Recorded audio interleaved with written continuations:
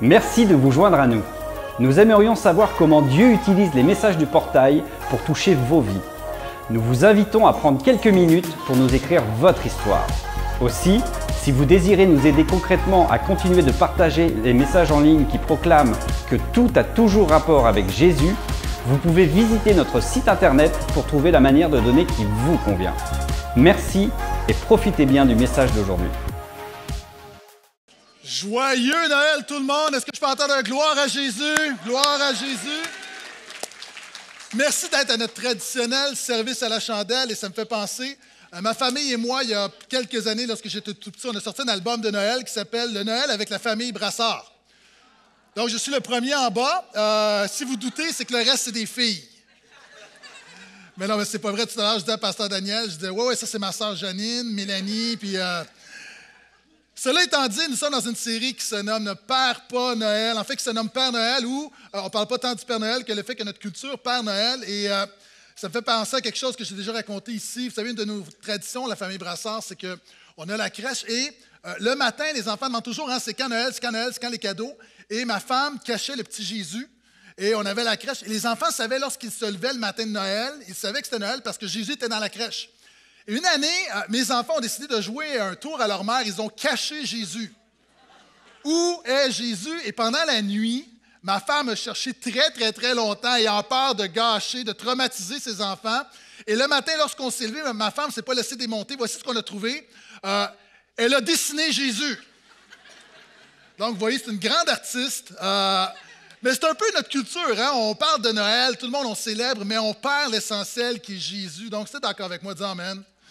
Il y a trois choses que la Bible nous appelle à ne pas perdre dans ce temps des fêtes. Premièrement, ne perd pas le Noël spirituel de Jésus. Euh, vous savez, lorsqu'on regarde notre Noël culturel sans Jésus, il y a plein de bonnes choses. Mais vous savez, quelquefois, le bon est l'ennemi du meilleur. Et le meilleur des Noëls, c'est quand tu le vis avec Jésus. Et vous savez, le Noël de notre culture, c'est un peu comme ce cadeau. Un beau cadeau, mais lorsque tu l'ouvres,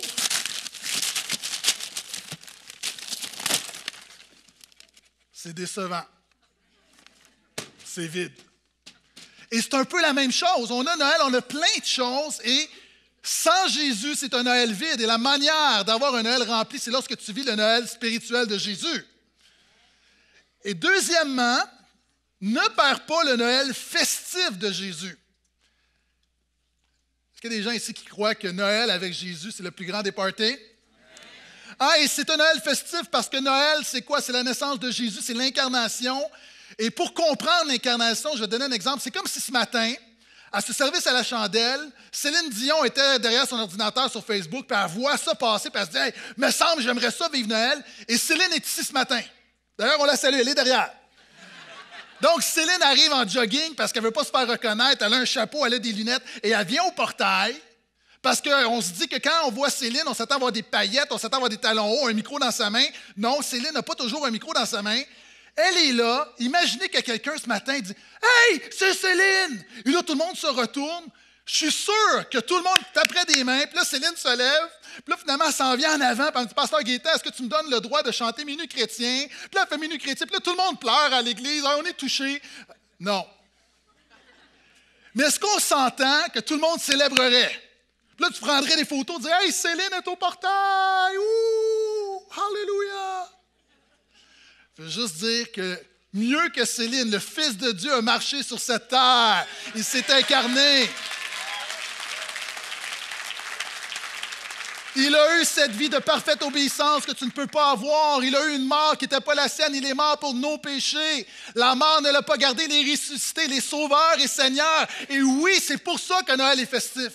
Parce que nos péchés sont pardonnés. Nous sommes libérés. Nous sommes réconciliés avec Dieu. Nous avons une deuxième chance. L'assurance de la vie éternelle. Tout ça à cause de Noël. Donc oui, tu peux sourire ce matin. Mais ce matin, j'aimerais te parler, troisièmement, après ne perds pas le Noël spirituel de Jésus, le Noël festif de Jésus. J'aimerais parler de ne perds pas le Noël quotidien de Jésus. Vous savez, un peu comme ce cadeau, une des choses que je trouve triste, euh, vous savez, Noël, c'est comme, euh, excusez l'anglicisme, mais c'est un build-up. On rentre dans la saison de Noël, on fait le sapin, on a les cadeaux. Puis à un moment donné, une des choses que je trouve toujours triste, c'est le 25 au matin, lorsqu'on a terminé d'ouvrir les cadeaux, il y a juste une montagne d'emballages de, cadeaux, de boîtes vides, Puis ça me fait un petit pincement. Est-ce que les gens, vous êtes comme moi? C'est comme là, si tu as atteint le pic, puis à partir de maintenant, c'est un long déclin. La bonne nouvelle, c'est que Jésus n'arrête pas après le 25 décembre. Et ce que je veux t'inviter à faire, et on voit dans ce texte-là, alors qu'on est dans les récits de la Nativité, Luc, Évangile, Évangile de Luc, verset chapitre 1 à 2, Luc présente trois choses. Premièrement, il présente la bonne préparation avant Noël. Deuxièmement, la bonne célébration à Noël. Mais troisièmement, la bonne réaction après Noël. Parce que Noël, pour le chrétien, c'est deux choses. Premièrement, c'est une célébration. Et deuxièmement, c'est une remise en question. Noël, c'est une célébration, mais c'est aussi une remise en question. Parce que Noël, c'est la naissance du Sauveur et du Seigneur. Noël, c'est l'importance de prendre une décision. Noël, nul ne peut rester indifférent à Noël. Et on va voir dans le texte de ce matin des, exemples de croyants qui continuent de mettre Jésus au centre de leur vie après Noël.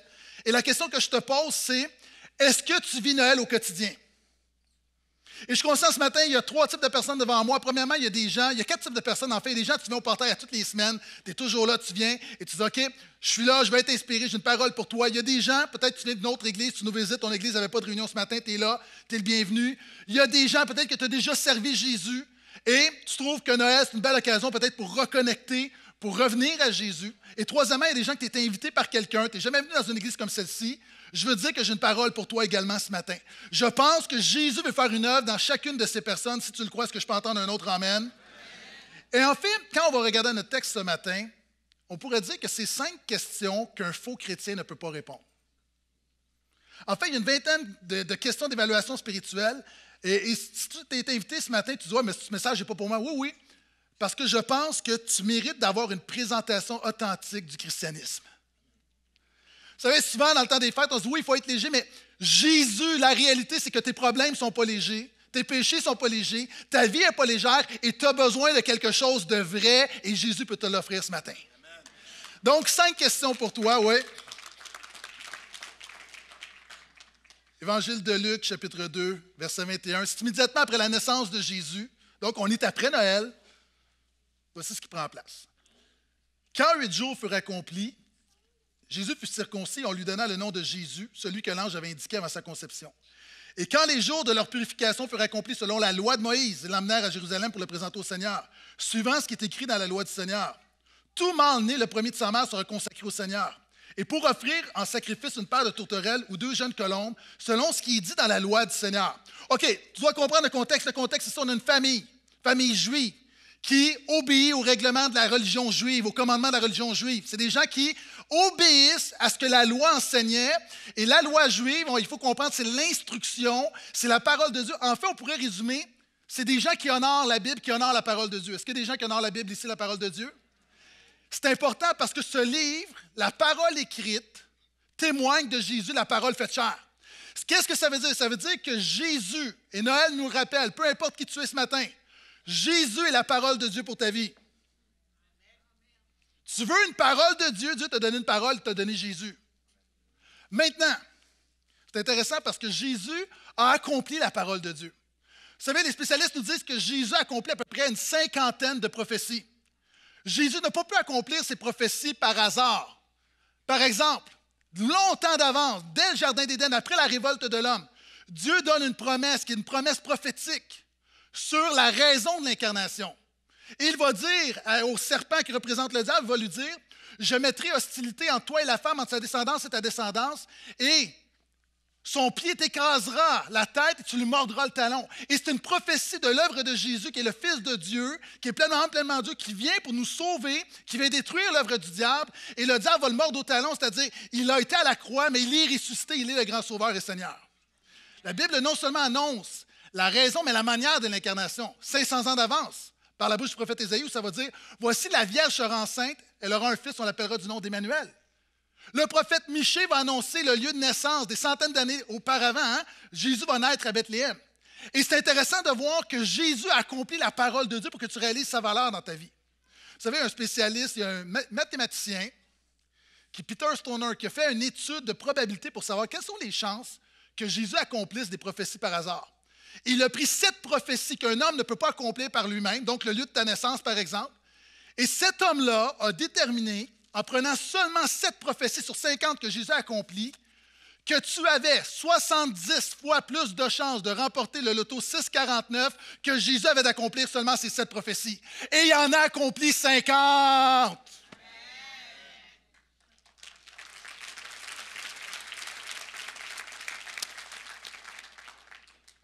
Ne vous en faites pas, je commence à prêcher dans quelques instants. Maintenant, des questions pour toi. Première question, quelles sont les preuves que la parole de Dieu transforme ta vie actuellement? Qu'as-tu lu dans la Bible qui t'a parlé cette semaine? Il y a quatre affaires là-dedans. Qu'as-tu lu dans la Bible qui t'a parlé cette semaine? La Bible dit dit elle-même que la parole est agissante, elle est efficace. Quelle promesse t'a encouragé cette semaine? Actuellement, dans ce temps des fêtes, quelle promesse de la parole de Dieu t'a encouragé? Si je posais la question, quelle est ta promesse préférée? La majorité des chrétiens répondent spontanément à la promesse de Jérémie qui dit Car moi, je connais les projets que j'ai formés pour vous, projets de paix et non de malheur, afin de vous donner un avenir fait d'espérance. Amen, mais ce n'est pas assez. Quels sont ceux qui croient que Dieu a une promesse fraîche pour ta vie? Quels sont ceux qui croient que le chrétien n'est pas celui qui radote quelque chose qu'il a entendu il y a 20 ans? Dieu a une parole fraîche pour ta vie. Je te donne un exemple. Il y a plusieurs années, euh, j'ai gagné un voyage à New York, toutes dépenses payées, et j'ai gagné 500 dollars dans un des plus grands steakhouse de New York. 500 dollars, c'est beaucoup d'argent. Vous savez, moi, quand je vais au restaurant, je ne regarde pas le menu, je regarde les prix, puis je choisis après. Est-ce que du monde comme moi? Ouais. Et je dis même à mes enfants ce qu'ils ont le goût de manger. Et là, c'est une, expérience, unique où tu arrives dans un grand, euh, c'est très, très somptueux, tu arrives là, et là, je dis à ma famille, vous prenez ce que vous voulez. Papa, on peut même prendre des hot dogs. Non. Allez-vous prendre des entrées? Oh que oui. On prend des entrées, on prend des, plats. Je dis à mon fils, je dis, tu peux prendre ce que tu veux. Il dit, moi, j'ai déjà vu dans un film des huîtres, ça arrive dans un plateau. Je dis, as-tu déjà mangé ça? Il dit non. Je dis, commande ça. Commande le plateau d'huîtres à 70 pièces. Euh, on commande tout ce qui coûte cher. On a le dessert. Et, moi, je suis un peu maniaque, c'est-à-dire je calcule. Parce que je me dis, c'est pas vrai que je vais laisser de l'argent ici. J'ai 500 pièces, je vais prendre tout mon 500 pièces. Ça ne va pas me coûter 550. Non, non, non. Je vais prendre tout ce que je peux avoir, puis je ne veux pas payer de ma poche. Et là, j'écrivais sur mon apron, je faisais des petits calculs, tu sais. Puis là, j'ajoutais un peu les taxes, tout ça. là, j'étais avec mon père à l'époque, puis là, il manquait à peu près euh, comme 50 pièces. Je dis, OK, on se commande un jus de fruits? Oui, ah oui, let's go. Tac, tac, tac, tac, tac. Et là, finalement, le serveur arrive avec la facture. Ça me coûtait 500 dollars et 24. Je trouve que c'est très fort quand même, mais ça, c'est autre chose. Mais est-ce qu'il y a des gens ici qui peuvent dire, je ne laisserai aucune promesse derrière, je prendrai tout ce que Dieu a pour ma vie, je vais m'approprier ce qu'il a pour moi?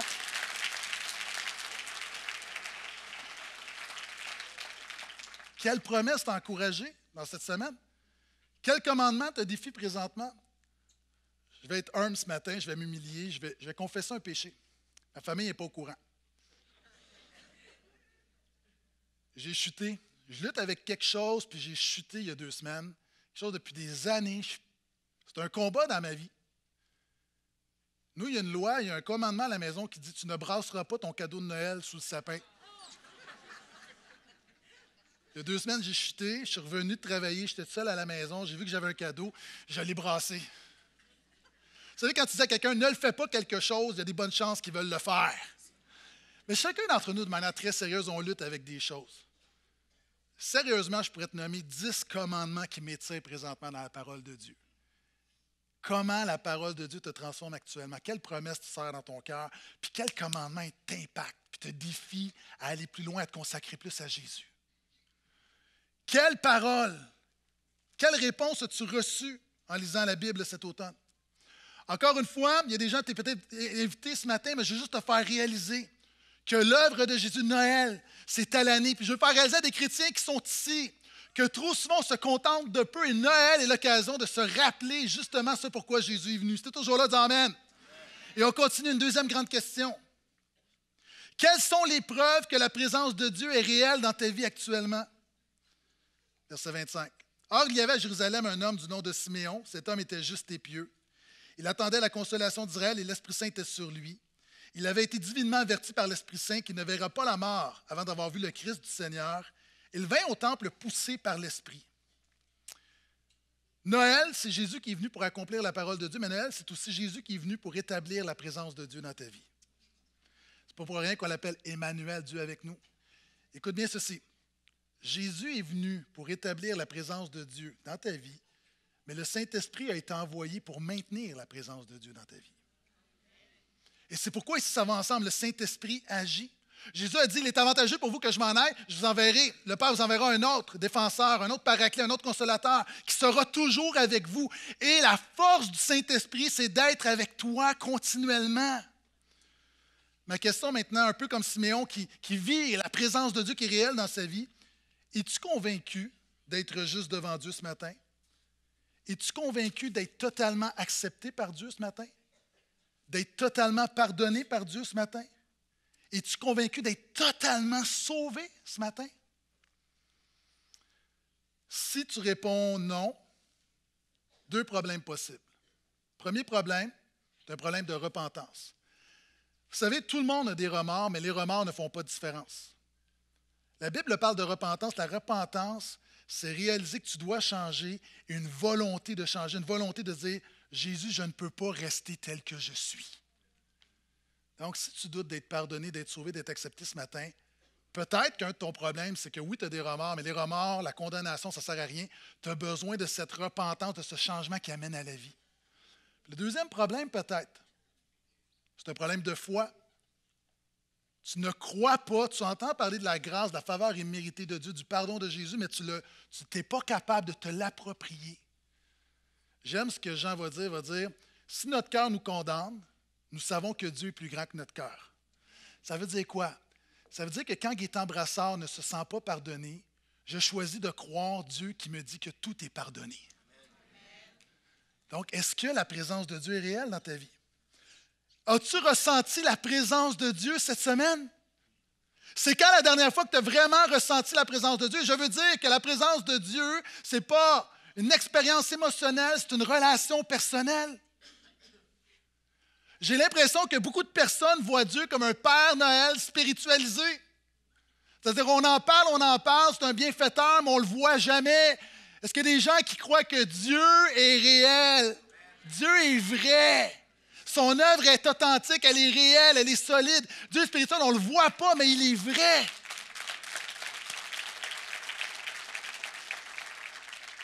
As-tu non seulement ressenti sa présence, as-tu entendu, c'est quand la dernière fois que tu as entendu la voix de Dieu? Est-ce que tu as entendu la voix de Dieu cette semaine? Et là, moi, je veux vous dire là, que ça, me surprend quand des gens disent Moi, je suis chrétien, mais j'entends jamais Dieu me parler. Moi, Dieu me parle continuellement. Si tu nous visites ce matin, je veux juste te rassurer, je suis normal. Quelqu'un t'a invité, tu dis bizarre, ton pasteur, il entend des voix. Euh, Jésus a parlé de ça. Jésus a dit que lorsque tu mets ta foi en lui, le Saint-Esprit, tu es connecté avec Dieu, il y a quelque chose d'une communication spirituelle qui prend place. Ce pas Dieu qui parle de manière audible, c'est des impulsions, c'est une direction, mais tu sais que Dieu parle dans ta vie. Vous savez, moi, quand je me lève le matin, j'aime me lever tôt parce qu'il n'y a personne dans la maison, personne de réveillé.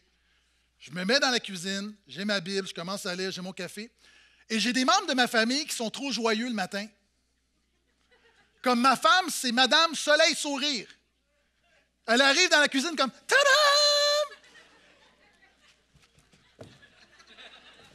Elle est comme. Elle, est trop de bonne humeur. Est-ce que les gens comme moi le matin, tu trouves ça que c'est, agressant quelqu'un de bonne humeur? Et j'avais aussi mes enfants qui se levaient et commençaient comme. Et là, je dis, viens ici, viens ici, viens ici. Ferme ta bouche. Papa, quand est-ce que je vais avoir le droit de parler? Dans une heure. Bla, bla, bla, bla. Je veux juste dire que Dieu n'arrête pas de parler dans la vie de ses enfants. C'est pas pour rien. Jésus est la parole. Est-ce qu'on s'entend que Dieu jase? Dieu parle. C'est quand la dernière fois que tu peux dire vraiment, j'ai l'impression que Dieu me parle? Moi, il me parle continuellement. OK? Entre vous et moi, ne lui dites pas, quelquefois, je trouve ça fatigant. Parce que tu ne peux pas mettre Dieu de côté. Dieu est toujours là, toujours là, dans la voiture, à la salle de bain, dans la douche, dans le lit, dans la chambre, au bureau. Dieu est là et Dieu te parle continuellement. C'est quand la dernière fois que Dieu t'a parlé?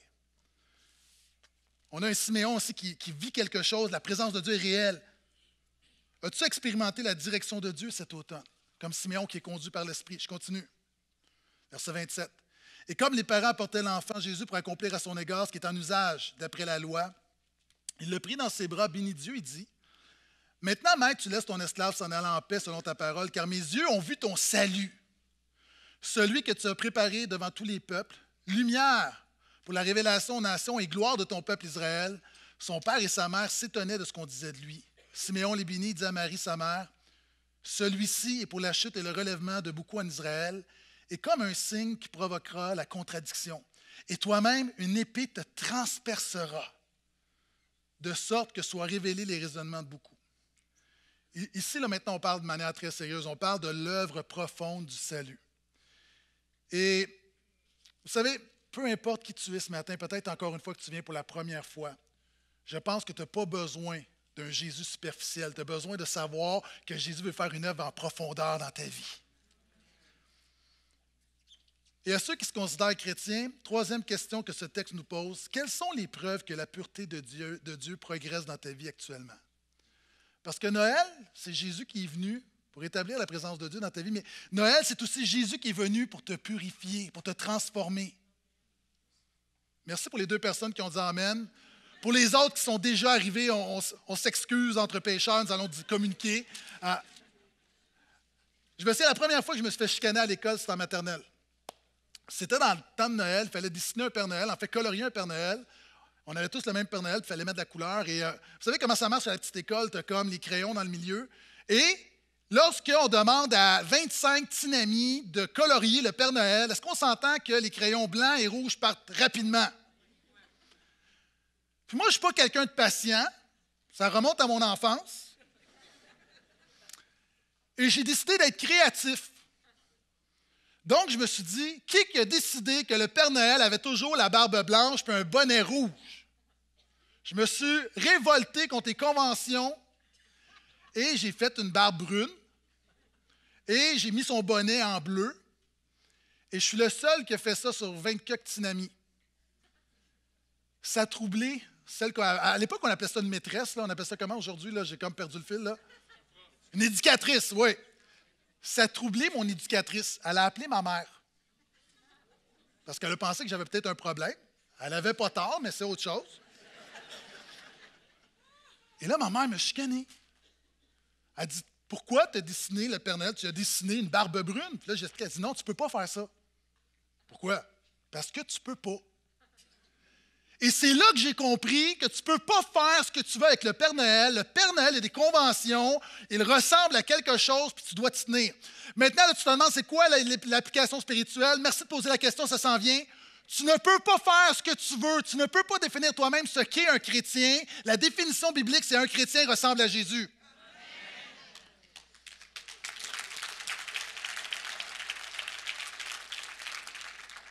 Et comment ressembler à Jésus? Il y a plusieurs éléments dans ce texte-là.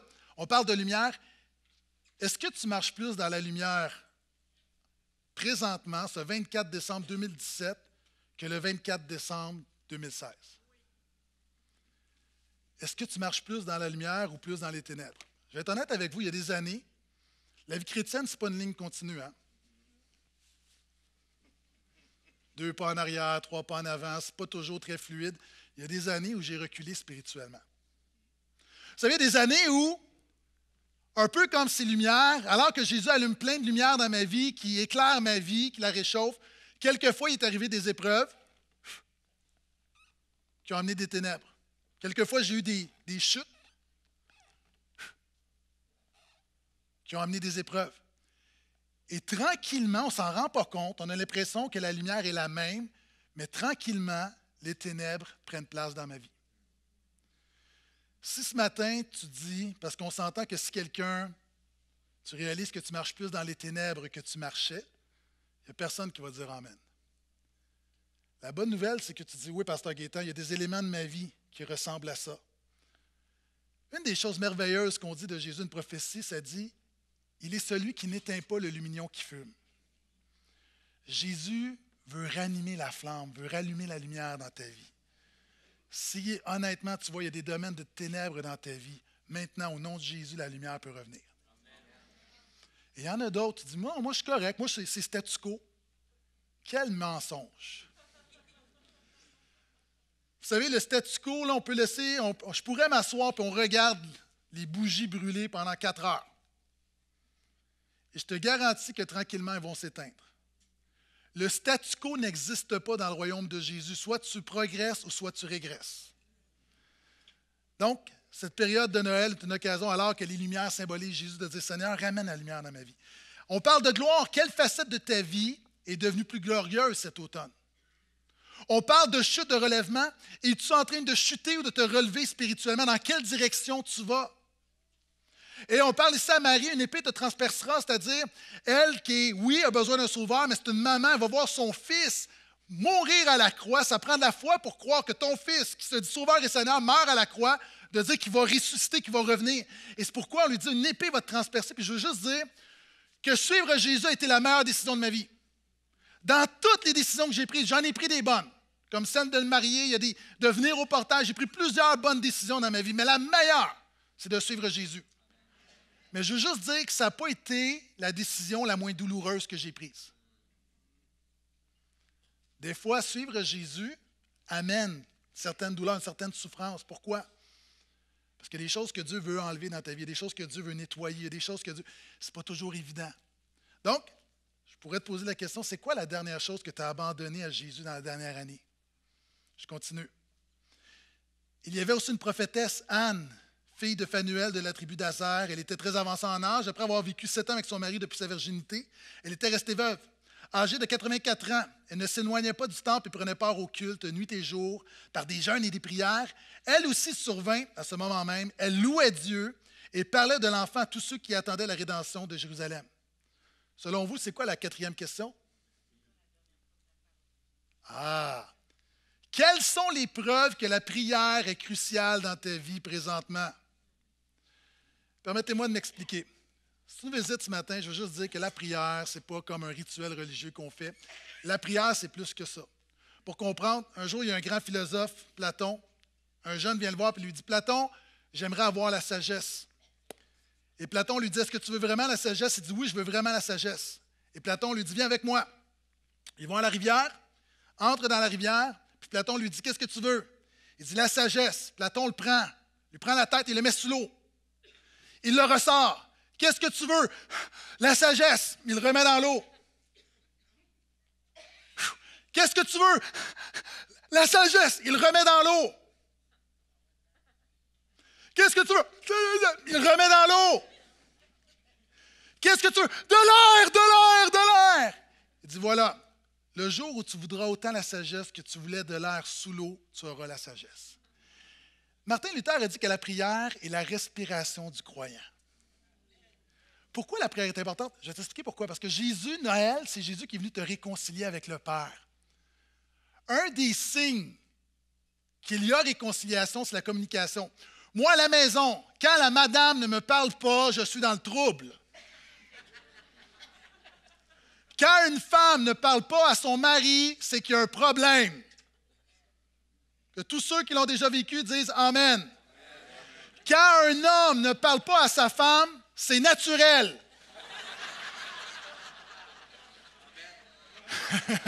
que tous les hommes disent Amen. Mais la communication démontre la réconciliation. Il y a plein de chrétiens qui sont réconciliés avec Dieu, mais qui n'ont pas de communication avec Dieu. Combien de fois as-tu prié cette semaine?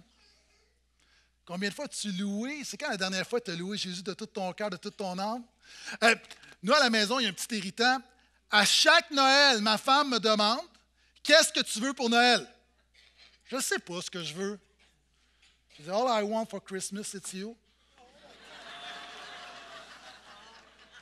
Et voilà.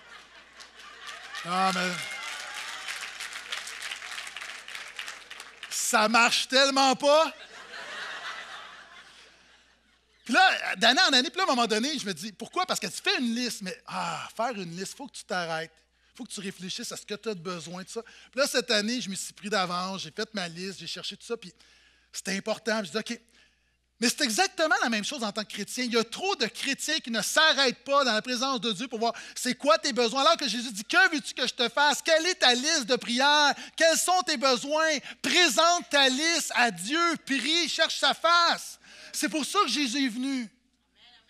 C'est quand la dernière fois que tu as véritablement prié? C'est quand la dernière fois? Combien de fois parles-tu à Dieu en moyenne par jour? Je ne parle pas de te mettre à genoux, je parle juste. Moi, là, je vous le dis continuellement, je parle à Dieu. Lui me parle, moi, je vais lui parler. Continuellement. Pourquoi? J'ai comme un sentiment, la présence de Dieu est, est tellement réelle dans ma vie, pas parfait, mais communication constante. Donc, c'est quand la dernière fois que tu as parlé, que tu as prié Dieu. Combien de fois, c'est quand la dernière fois que tu as parlé de Jésus à quelqu'un autour de toi cet automne? Et je termine là-dessus. Cinquième question qu'un faux chrétien ne peut pas répondre, que chaque personne qui dit, j'espère que tu vas être en mesure de répondre dans les prochaines semaines, dans les premiers, prochains mois. On parle de Jésus, verset 39. Lorsqu'il eut accompli tout ce que prescrivait la loi du Seigneur. Ils retournèrent en Galilée, à Nazareth, leur ville, donc on parle de ses parents. Or, l'enfant grandissait et devenait fort. Il était rempli de sagesse. Et là, encore la grâce. C'est toujours là. Et la grâce de Dieu était sur lui. Quelles sont les preuves que la puissance de Dieu agit dans ta vie actuellement? Parce que Jésus est venu, Noël, c'est Jésus qui est venu pour agir puissamment dans ta vie. Amen. Quelques sous-questions. Dans quel domaine de ta vie spirituelle as-tu le plus grandi cette semaine, cette année? Sur quelle faiblesse as-tu travaillé cet automne? Est-ce qu'il y a des gens qui réalisent qu'être chrétien, c'est travailler sur ses faiblesses par la grâce de Dieu? Est-ce qu'il y a des gens comme moi, en vieillissant, vous trouvez que les parties de Noël, c'est de plus en plus difficile? On se couche tard? Vous savez, moi, j'étais jeune, je passais des nuits blanches. Euh, on a reçu des jeunes à la maison vendredi. Euh, je me suis couché à 2h30. Je suis encore fatigué. Je suis encore fatigué. Je suis comme, je suis plus capable. Et c'est là que j'ai compris pourquoi un brunch est une excellente idée. Puis la réalité, c'est qu'en vieillissant à 42 ans, je me rends compte, mon oncle, il est fatigué, Oh oui, moi je vois l'heure depuis. Ma femme elle m'appelle mon oncle parce que je vois l'heure, il est 9 h, puis là je suis comme oh, oh, oh. Hier, hier, je vous le dis, là, il était 7h15 puis je voulais aller me coucher. Ma femme m'a interdit d'aller me coucher. C'est pas drôle, quand ta famille t'interdit d'aller te coucher. Et j'ai l'impression qu'à 42 ans, que j'ai moins d'énergie que j'en avais à 30 ans. Puis là, il y a du monde de 50 ans qui disent Attends, ça s'en vient. Mais Paul dit quelque chose. Il dit qu'alors que notre être physique se détériore, notre être intérieur se fortifie, se renouvelle. Oui.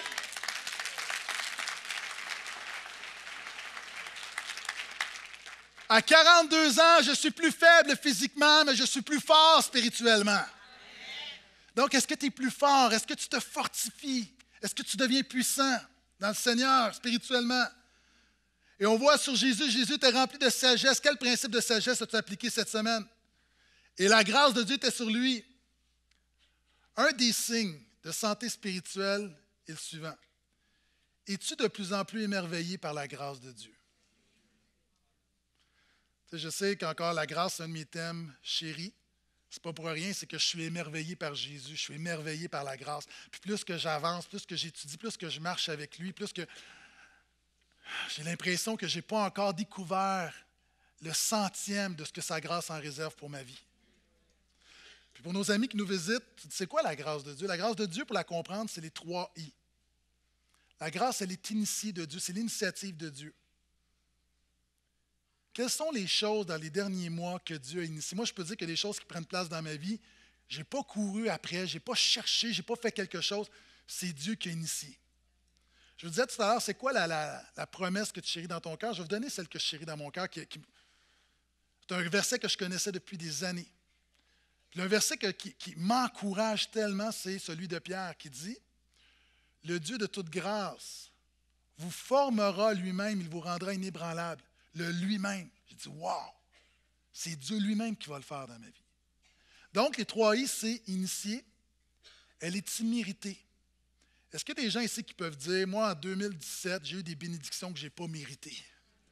Il y a des affaires qui prennent place dans ma vie. C'est un cadeau gratuit de Dieu. J'ai rien fait. C'est pure grâce. Alléluia.